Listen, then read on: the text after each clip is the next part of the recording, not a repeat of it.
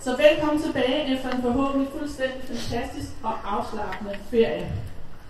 Jeg håber, I nydte det, og I måske også har set lidt sport i fjernsynet. I har slappet af, nogen har været ude at rejse, og øh, fået en masse oplevelser og indtryk i løbet af sommerferien. Fordi det er oplevelser og indtryk, som vi også vokser i. Og det er vildt, når vi står herude og siger godmorgen, at øh, alle børn ser ud som om de er vokset øh, 10 cm ind over en sommerferie. Så vi er blevet virkelig store.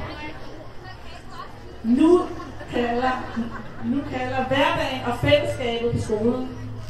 Ferie er jo helt fantastisk dejligt. Men det er vigtigt også at holde af hverdagen. Og øh, det har en digter, Dan Tyrell, skrevet noget om gang. Og jeg kunne ikke være mere enig.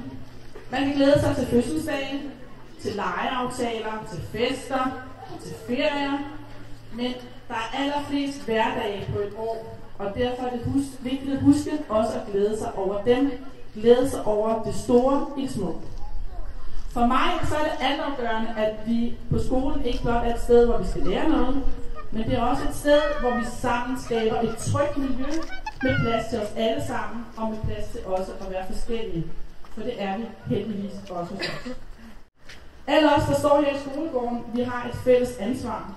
Vi har ansvar for at skabe en skole, hvor respekt, omsorg og samarbejde er i fokus. Og det er lige præcis det, der er med til at gøre, at vores fælles opgave om jeres børn, og som vi også ofte kalder for vores børn, de vokser og trimmer. trives.